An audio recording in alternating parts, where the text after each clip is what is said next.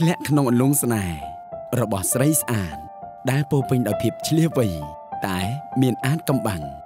ខ្សែភាពយន្តភាគអន្តរជាតិដ៏ល្បីល្បាញដែលធ្វើអ្នកទស្សនាជាច្រើនអ្នកជំវិញពិភពលោកលងស្នេហ៍និងរងចាំមើលតើការកុហករបស់នាងនឹងទៅជាយ៉ាងណារឿងជីវិតនាង Feriha ផ្សាយជូនទស្សនារៀងរាល់ថ្ងៃច័ន្ទដល់ថ្ងៃសុក្រ វេលាម៉ោង12:30នាទីថ្ងៃត្រង់នៅលើកញ្ចក់ទូរទស្សន៍ CTN សូមចូលទៅកាន់ Facebook Page របស់ CTN ដើម្បីមើលតារាងកម្មវិធី